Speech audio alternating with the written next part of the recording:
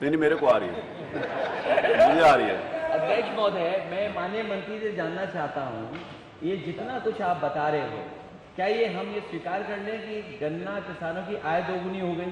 पहली बात। और दूसरी, कम से कम ये सूची दीजिए आप कि किस सरकार में कौन सी बंद हुई, किस सरकार में कौन सी बेच दी गई है। कम से कम ये तो माननीय मंत्री जी बताइए, कहीं ऐसा तो नहीं कि पहले भी आपने हाथ मिला के रखे हो उस सरकार से। जब बेची गई हो तब। जब मंत्री थे तो ये तो मंत्री थे सात सौ बारह तक तो आप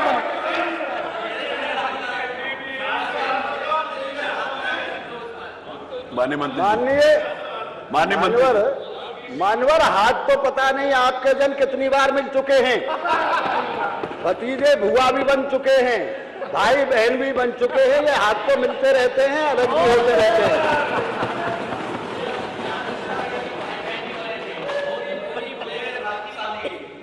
चलिए। आप अपना विषय गन्ना हैं- गन्ना भुगतान। मान्य मंत्री जी गन्ने पे भुगतान। नहीं, माननीय अध्यक्ष हाँ, जी यदि आप बिकने की और बंद होने की बात कर रहे हैं तो मैं आपको पूरी सूची दे सकता हूँ। सदन में पढ़ के सुना सकता हूँ कि कौन कौन सी मिल बंद हुई और कौन कौन सी बेची गई ये पढ़ के सुना सकता हूँ।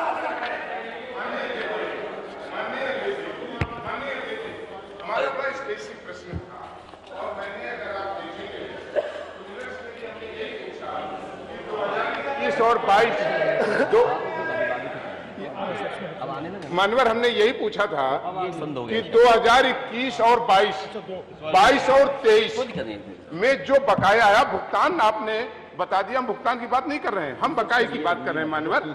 अगर एक किसान का भी बाकी है, ये सरकार की ज़िम्मेदारी है नैतिक अगर एक किसान भी आत्महत्या कर रहा है और एक किसान के घर में भी उसकी बेटी के हाथ पीले नहीं हो रही है आपकी ज़िम्मेदारी है। चलिए। सत्रह सौ तिहत्तर करोड़ रुपए बकाया है। आप ये सुनिश्चित करिए कि ये बकाया आप कितने दिन में दे देंगे मैंने पूछा कि पंद्रह दिन में दे देंगे? ये आपका उत्तर आया नहीं। अब ये उत्तर दे दीजिए हमको हम संतुष्ट हो जाएँगे। क्या पंद्रह दिन में दे देंगे बकाया? मैंने बताया जिन एक दो फैक्ट्री ने नहीं पेमेंट नहीं किया है उनकी आरसी जारी की गई है और बाकी शेष तत्काल भुगतान कराया जा रहा है। ये भी जवाब दिला दीजिए ये जवाब हो गया ना की आमदनी दोगुनी हो गई। आपने कहा था आपने कहा वो वो वो नहीं वो वो वो इस प्रश्न का।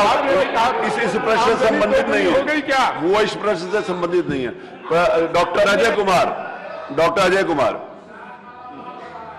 आप गन्ने के कहाँ चक्कर में पड़ गए? वो सही है। अध्यक्ष जी प्रदेश के पैंसठ लाख गन्ना किसानों से जुड़ा मेरा बहुत ही महत्वपूर्ण सवाल है।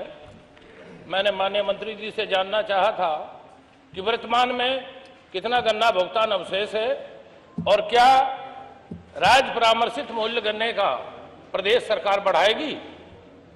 गोलमोल सा जवाब दिया माननीय मंत्री जी ने।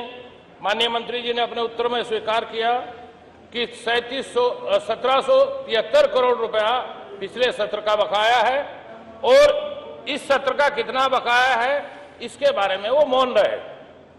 अभी बताया अनुपूरक में उन्होंने। ये जहाँ तक गन्ना भुगतान की बात है डिजिटल युग में हम जी रहे हैं ये चौदह दिन का गन्ना भुगतान का जो पुराना नियम है बहुत से नियम आपने माननीय अध्यक्ष जी आपने बदले ये नियम भी बदला जाना चाहिए। एक तरफ़ गन्ना डाले दूसरी तरफ़